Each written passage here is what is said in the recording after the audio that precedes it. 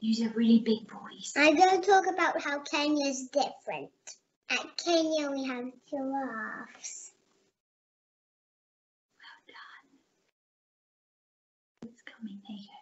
Um, in our Kenya garden, we have monkeys and chameleons. And in our England garden, we have ladybird and squirrels.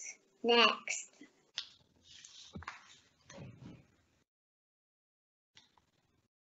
In England, um, the leaves of from the trees fall off.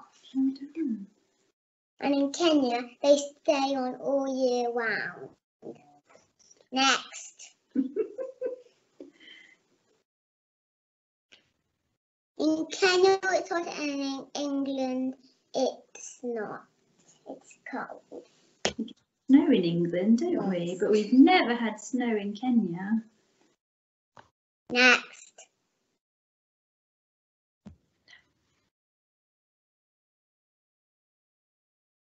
Um, in Kenya, we go for safari, and we and we have lions, elephants, and giraffes. And in England, we go to the farm and we see the horses and chickens. Next.